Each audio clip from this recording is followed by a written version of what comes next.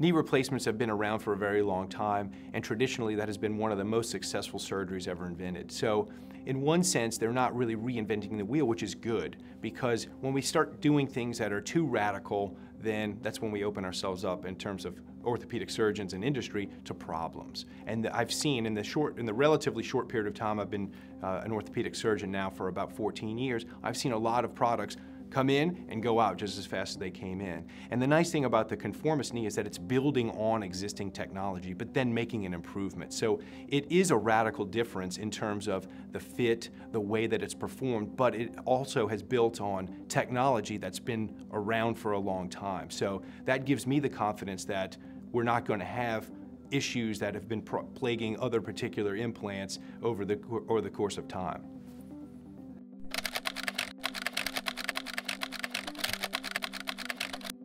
The measures that I look for to grade myself are things like flexion level, extension level, and what the x-rays look like. So from those standpoints, I've seen tremendous increases in satisfaction from my standpoint. So the x-rays I think look better because I'm not having problems of overhang of a component, underhang of a component. I'm not worried about notching the femur, which is a particular problem, and undersizing an implant.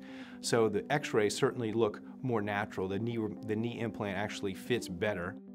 From the patient's perspective, measuring some objective measures of the patient, I've noted on average an improvement in range of motion of the patient.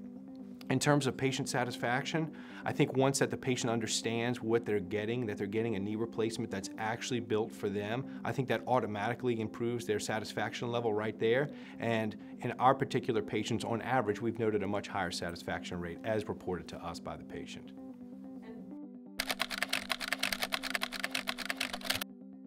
I can tell you this, on average, our patients I'm finding are doing better with the ConforMIS knee than with an off-the-shelf brand, on average. One particular patient that I can think of off the top of my head, she returned to work after three weeks and came into our office with a normal gait and no limp, uh, not utilizing a cane or a crutch or anything. And she was, she was actually, we did both of her knees ultimately, uh, but her first knee was an extraordinary procedure for us because of the difference that we saw uh, in the patient's recovery and how her satisfaction was.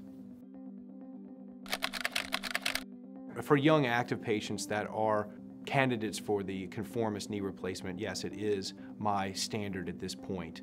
I do think that the customization that's allowed is better for the patient and the recovery that I've seen from those particular patients uh, has really changed my opinion of who is who does well with what particular knee replacement. I certainly think that patient-specific is better. It seems to me to be common sense that putting something in me that is closely shaped to me is much better than something that's shaped to fit a population of people rather than me specifically. And I think that's something that is new, is here to stay, and is the future of joint replacement.